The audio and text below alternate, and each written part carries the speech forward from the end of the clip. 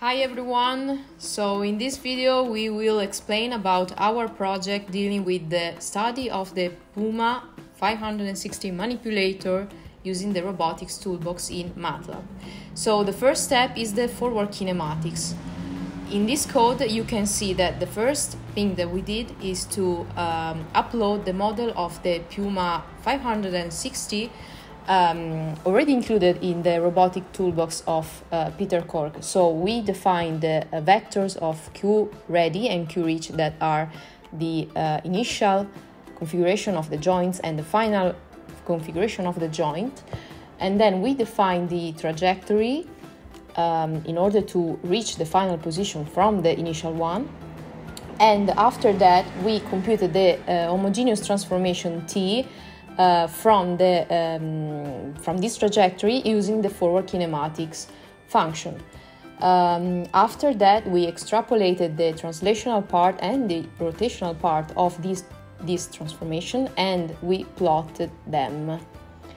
Um, so yeah, in this part we just uh, try to get confident with the functions of uh, uh, this uh, toolbox. So here you can see the graphs that we plot. So we have on the right the translational part of the transformation we computed. Then we have the RPI, so the rotational part, and uh, on the left we have the joint angle variation.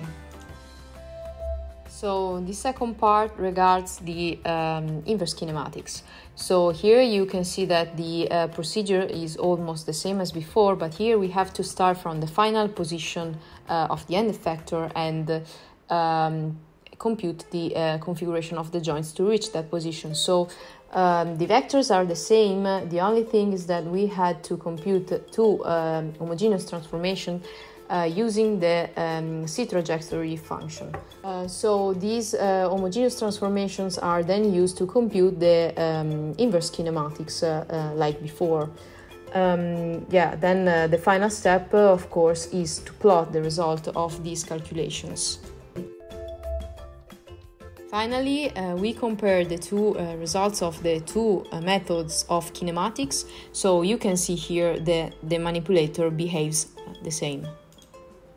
So now we can uh, enter in details about our project that is a simplification of the pickup uh, application of this manipulator. So um, we started from uh, um, a code um, inserted by the uh, by Peter Corke in his uh, YouTube channel, uh, in which he showed that the manipulator reached a sphere in his um, operational space. So we proceed the same defining uh, these spheres. And uh, by defining these spheres, then we could also uh, define the translational and rotational part of uh, um, the transformations.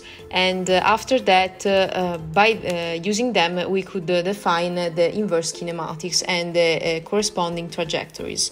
Um, to avoid that, uh, the path um, we defined included also um, singular configurations, uh, we used the Jacob function and we um, saw that uh, the determinant of this matrix was not equal to zero.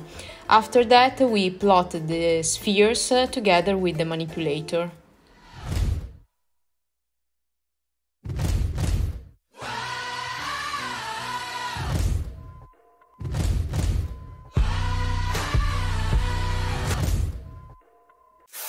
After this, we have the dynamics part, uh, which is basically all uh, on Simulink, uh, except for some uh, um, parameters that uh, we had to define on MATLAB. The first trial on Simulink regards uh, the application of dynamics in the case that we don't have any torque as input. So in this case, we can see that the manipulator acts only um, due to the gravitational force. So here you can see the plot of the configuration parameters of the joints. The first real control regards the PD plus gravity compensation.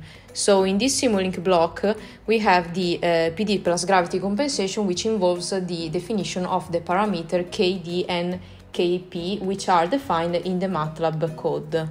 The trajectory defined is the one from uh, one sphere to uh, another one. And here you can see the plots uh, of the joint variables uh, uh, with the change of the parameters.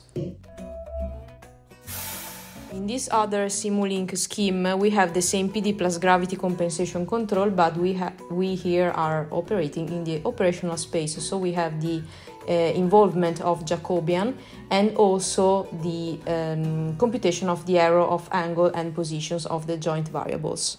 The next step is the dynamics control. So in this scheme we have the J trajectory block as input for the inverse dynamics.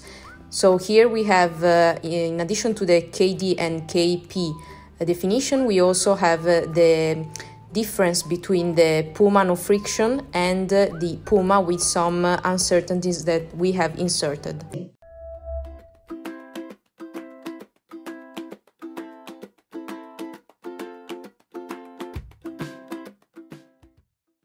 So here you can see the difference between the two Puma models. Uh, here instead we have uh, a little modification in the robust control block. So we have the omega compensation and in the MATLAB code we have the additional parameter rho that is uh, due to the uh, compensation of omega. So here you can see the plots uh, with the different values uh, of the parameters. So it, it is just fixing one and changing the others.